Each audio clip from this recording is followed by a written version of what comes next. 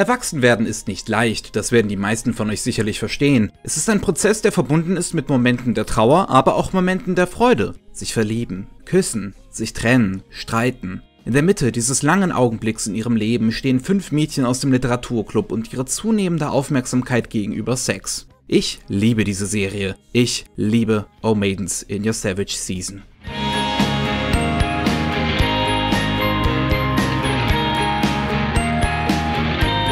In diesem Anime geht es um die eben besprochenen fünf Mädchen aus dem Literaturclub in der Blöte ihrer Jugend. Die Hauptrolle wird hierbei eingenommen von Kazusa Onodera, einem Mädchen, für das, wie allen anderen, Sex sehr unangenehm ist. Allerdings macht sie sehr überraschenden Kontakt mit diesem Thema, als sie das Zimmer ihres besten Freundes Izumi Norimoto betritt und dieser die Hand in der Unterhose hat, indes er ein Porno auf seinem Laptop schaut. Izumi ist eben, wie die meisten Jungen in seinem Alter, interessiert in Sex und hat eben gewisse Bedürfnisse. Aber die keusche Kazusa ist in ihn verliebt und macht sich nun Gedanken. Denkt Izumi auch über Sex mit ihr nach? Funktioniert eine Beziehung zwischen den beiden überhaupt?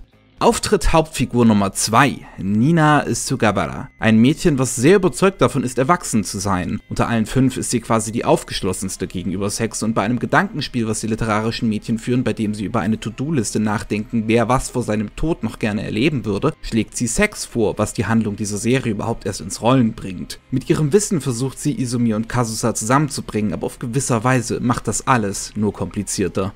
Hier kommt Hauptfigur die dritte ins Spiel, Momoko Sudo, die beste Freundin der Protagonistin Kazusa. Vom Charakter sind sich beide sehr ähnlich, nur dass Momoko etwas mehr in die Cinnamon Roll Kategorie fällt. In Episode 3 sagt sie ausdrücklich, dass sie noch nie in einen Jungen verliebt war und wer mich kennt und versteht, warum ich das so betone, der weiß auch, warum dem so ist. Und ihr Subplot ist ziemlich gut, allerdings bekommt er erst gegen Ende der Serie Aufmerksamkeit, von daher kann ich nicht viel dazu sagen, ohne zu spoilen.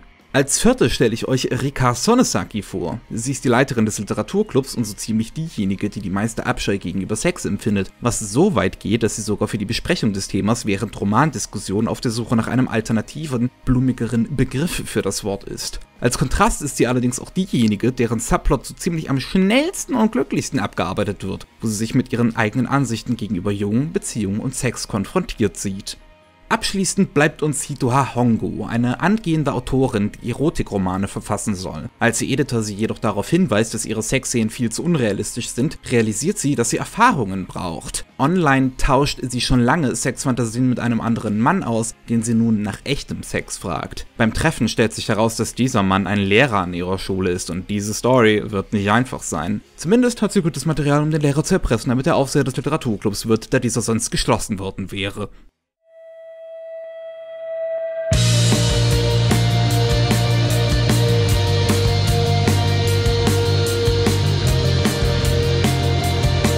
Normalerweise mag ich es nicht, so einen langen Abschnitt in meinen Videos zu haben, in denen ich im Detail den Plot der Serie erkläre, aber O Maidens in Your Savage Season ist eine Geschichte, die sich aus fünf parallel laufenden Subplots zusammen ergibt. Da bleibt mir wohl keine andere Möglichkeit. Dieser Anime ist geschrieben von Mari Okada und im Gegensatz zu ihren üblichen Serien gibt es nicht unbedingt den einen Plot, der alle Geschichten miteinander verbindet. Hitohase und Rikas Subplot existieren zum Beispiel so gut wie bis zum Ende ganz in ihrer eigenen Blase, bis der letzte Abschnitt der Serie schlussendlich alle Figuren zusammenzwingt. Vergleichen wir das mit Nagino Asukara, wo es um die Beziehung zwischen Wasser- und Landmenschen geht und um ein großes Festival, oder Anohana, wo es darum geht, ins Reine mit Geschehnissen aus der Vergangenheit zu kommen, hat O Maidens nicht nur eine andere Struktur, Struktur als übliche Okada-Serien, sondern auch gleichzeitig einen ganz anderen erzählerischen Ton. Okadas Stil ist bekannt dafür, extremst melodramatisch zu sein und ich stehe auf den Scheiß. Aber das tut nun mal nicht jeder. O Maidens bricht aus der üblichen Okada-Formel aus und bietet eine überraschend leichtherzige Erzählung, was gerade bei den Themen der Serie, Pädophilie, Lehrer-Schüler-Beziehung und das Entdecken der eigenen Sexualität, sagen wir, überraschend ist. Dieser Anime kann sehr unangenehm werden. Er konfrontiert den Zuschauer mit einer sehr gnadenlosen Darstellung eines Pädophilen und mit vielen detaillierten Gedankengängen über Sex. Das alles ist aber umwickelt von einer gewissen Befreitheit. O Maidens ist keine Serie wie Anohana oder Anthem of the Heart, wo die Figuren mit einer großen lebensverändernden Situation konfrontiert werden. Natürlich, die Figuren hier lernen auch was für die Zukunft, aber in einem realistischeren Umfeld. Wir beobachten nur einen kleinen Teil des normalen Lebens dieser Figuren. Am Ende wissen wir, egal wie diese Geschichten für die einzelnen Figuren ausgehen werden, wird ihr Leben weitergehen.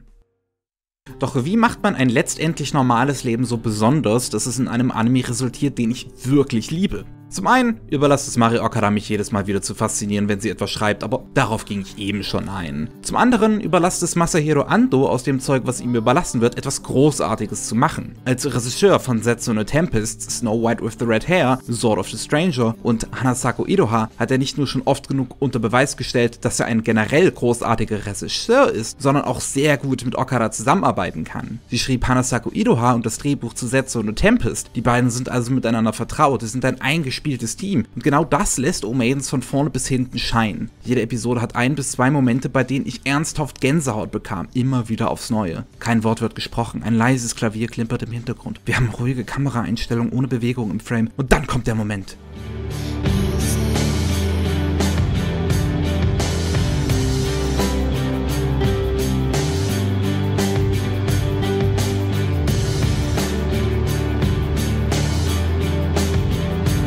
Damit diese Momente auch funktionieren, brauchen sie gute Musik. Und um das ganz einfach auszudrücken, fuck ist der Soundtrack gut. Moe Hyuga ist für die Musik dieser Serie verantwortlich und seit 2013 ist sie immer mal wieder so ein bisschen hier und da. Hat bei verschiedenen Soundtracks irgendeine Kleinigkeit beigetragen, bei Nobunaga the Fool, Plastic Memories, Occultic 9, aber auch Anthem of the Heart und die erste Staffel Mobile Suit Gundam Iron-Blooded Orphans, die beide von Okada geschrieben wurden. Bis sie 2016 die Honeyworks-Filme I've Always Loved You and The Moment You Fall in Love musikalisch untermalte, gefolgt von Steins Gate Zero in 2018 und nun O Maidens. Ihre Musik würde ich als relativ klassische Soundtrack-Musik bezeichnen, aber eher auf dem Spektrum, dass sie nicht unbemerkt im Hintergrund dudelt, sondern dich bewusst Dinge fühlen lassen soll, die eine Stimmung vorgeben lassen soll, was sie handwerklich definitiv ziemlich gut kann.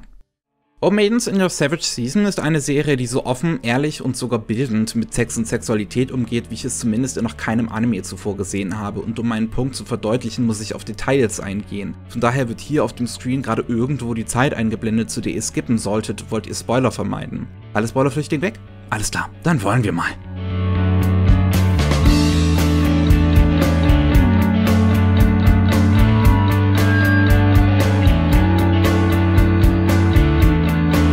Wir als allererstes auf den Punkt ein, den die meisten sowieso mit mir verbinden werden. Das lesbische Mädchen Momoko. Wie vorhin erwähnt, geht ihr Plot erst so richtig gegen Ende der Serie los, aber davor schon wird sie mit einem Jungen verkuppelt und sie tauschen Nummern aus, schreiben miteinander, gehen auf Dates, aber Momoko fühlt dabei nichts. Für sie ist es seltsam. Sollte sie nicht etwas fühlen? Laufen Beziehungen nicht normalerweise so ab?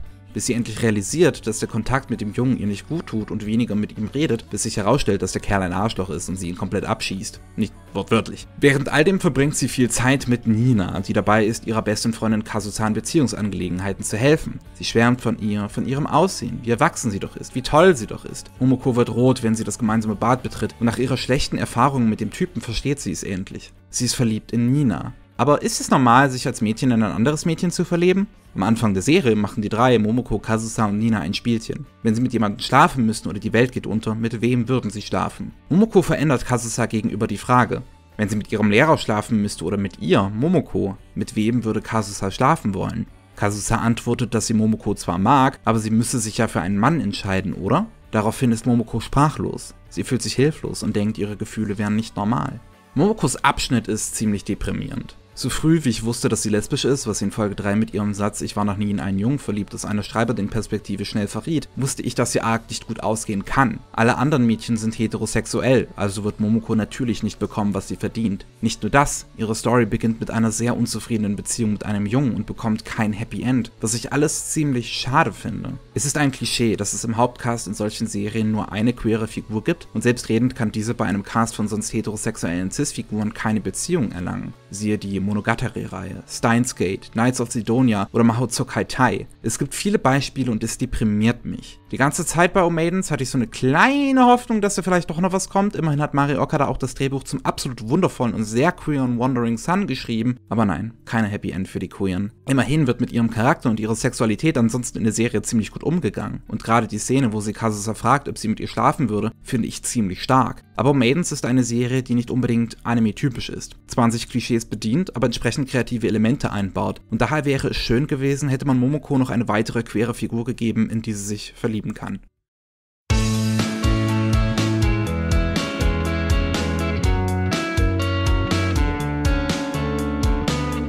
Eine spannende Sache, die Omaidens macht, ist den Unterschied zwischen romantischer und sexueller Anziehung in der Story unterzubringen. Beim Helfen von Kazusa und Izumi verliebt sich Nina in Izumi. Und kleine Bitch, die sie ist, macht sie sich weitaus aggressiver an Izumi ran, als sie es dann endlich realisiert, als die nun mal sehr keusche Kazusa. Und das macht Dinge dramatisch, aber auch ziemlich interessant. Izumi hat starke Gefühle für Kazusa. Die beiden kennen sich ein Leben lang und er ist ziemlich sicher, in sie verliebt zu sein. Warum allerdings bekommt er beim Denken an Nina, die so weit gegen Izumis Hand an ihren Hintern zu halten, einen Steifen und beim Denken an Kazusa nicht? Die Auflösung? Gerade weil er Kazusa so lange kennt und sie für ihn quasi Teil der Familie ist, ist es seltsam für ihn, über Sex mit ihr nachzudenken. Es ist fast schon so, als würde man über Sex mit der eigenen Schwester nachdenken. Aber diese lange Hintergrundgeschichte hat er nun mal nicht mit Nina und er findet ihren Körper attraktiv. Schade nur finde ich, dass es bei Ninas Plot zwar viel um die Sexualisierung von Frauen geht, aber sie es letzten Endes nicht schafft, daraus auszubrechen. Am Anfang der Serie geht es darum, dass sie schon längst darin trainiert ist, Männer abzuwimmeln, die versuchen sich an sie ranzumachen und später in der Serie wird Nina richtig wütend, wenn Kazusa meint, Nida würde ihr Izumi wegschnappen, nur weil sie hübsch ist und mal mit ihm geredet hat. Also was passiert? Sie verliebt sich wirklich in Izumi und das eigentlich echt gute Argument, was gemacht wurde, dass man nicht auf ein Mädchen eifersüchtig sein sollte, nur weil sie hübsch ist und mit einem Schwarm redet, wird zunichte gemacht. Ninas gesamte Geschichte bezieht sich viel darauf, dass man nicht nur auf das Aussehen von Frauen fokussieren sollte, und doch passiert genau das am Ende mit ihrer eigenen Geschichte.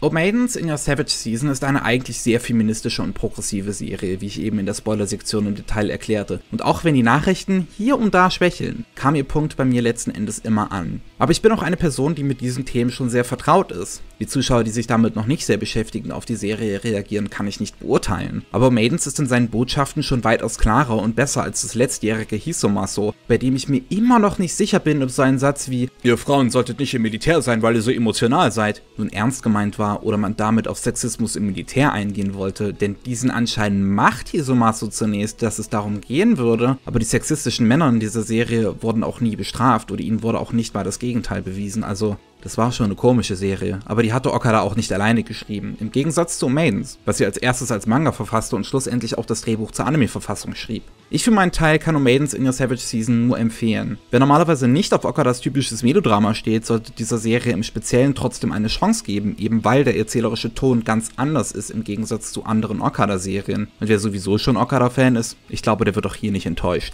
Die Serie gibt es hier in Deutschland auf High Dive, ein internationaler Streamingdienst mit doch einem immer sehr kleinen Angebot in Deutschland, aber sie bieten ein kostenloses 14 Tage Probeabo an.